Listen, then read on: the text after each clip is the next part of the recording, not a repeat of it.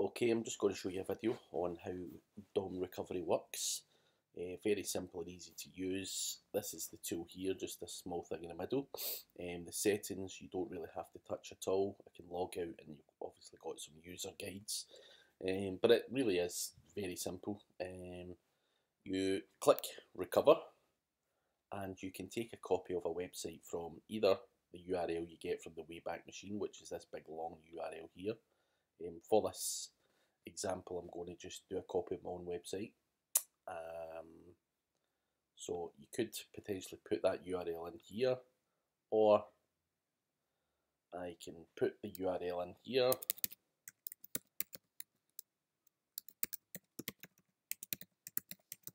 And it will just take the last available working copy from the Wayback Machine.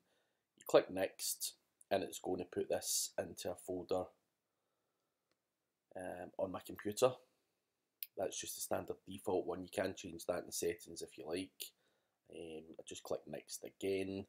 The link prefix, this is where you could potentially, if you're going to use a copy of a website and put it on a different domain name, you can use this here. But if if you're building a private blog, a blog network, you would simply keep it on the same domain name, so you wouldn't have to put anything in here at all. Um, click finish and the tool goes to work so it's just going to take everything from my website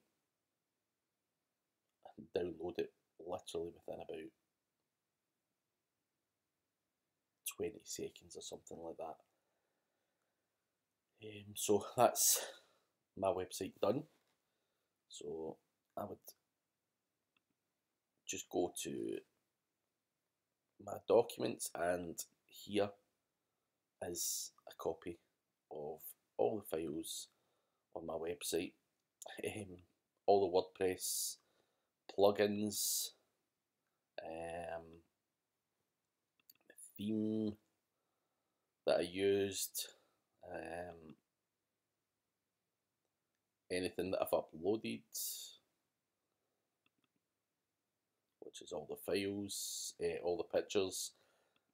So it basically grabs everything um, that you need to get that website up and running. So I can just basically take a copy of this and throw it onto my URL if it had expired. So very quick and easy to use tool and it works with any website on the Wayback Machine.